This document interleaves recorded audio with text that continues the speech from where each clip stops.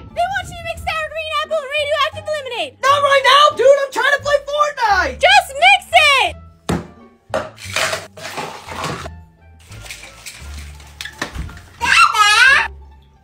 The flavors clash too much, so it's a no from me, dog. Now, if you'll excuse me, I've got some cheeks to clap at Daily Bugle.